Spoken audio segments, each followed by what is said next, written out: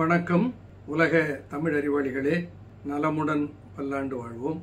வெல்வோம் வாரீர் தொடர் நிகழ்ச்சி ஐம்பத்தி ஏழாவது நிகழ்வாக வருகிற செப்டம்பர் மாதம் இருபத்தி எட்டாம் நாள் மாலை ஆறரை மணிக்கு நிகழ இருக்கிறது. வெல்வோம் வாரியர் ஐம்பத்தி ஏழாவது நிகழ்ச்சியினுடைய தலைப்பு குழந்தைகள் பிணிகள் இறுதி பாகம் அல்லது மூன்றாவது பாகம். குழந்தைகளுடைய பிணிகளில் ஒரு வயது ரெண்டு வயது ஆகிற போது வருகிற பிணிகள் ஒரு வயதுக்குள்ளே இருக்கிற பிணிகள் என்று பல வகையிலே நாம் பார்க்கிறோம். பொதுவாக ஆறு மாதம் முடிந்த பின்னால இந்த குழந்தைக்கு என்ன கொடுக்கலாம் என்பது பலருக்கு சந்தேகம் இருக்கும். ஒரு ஏழு எட்டு மாசம் ஆனால் என்ன கொடுக்கலாம்? முட்டை கொடுக்கலாமா?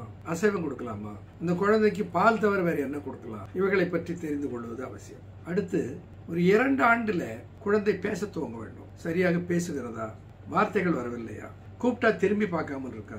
இல்ல கூப்பிட்டா உடனே திரும்பி பார்க்குதா? மற்ற குழந்தைகளோட சேர்ந்து விளையாடாம தனியா போயிருக்கிறதா? பல நேரங்களில் யாரோட இணையாம தனியாக தனியா உட்காந்துக்கிட்டு எங்கோ ஏதோ ஒரு உலகத்துல செஞ்சிருக்குதா? இந்த ரெண்டு வயசுல இந்த மாற்றங்களை பார்க்கிற போதே நம்ம உஷாராயிடணும். இதுவே ஒரு மூன்று வயது நான்கு வயது ஆகிற போது நன்றாக தெரிய ஆரம்பித்துவிடும்.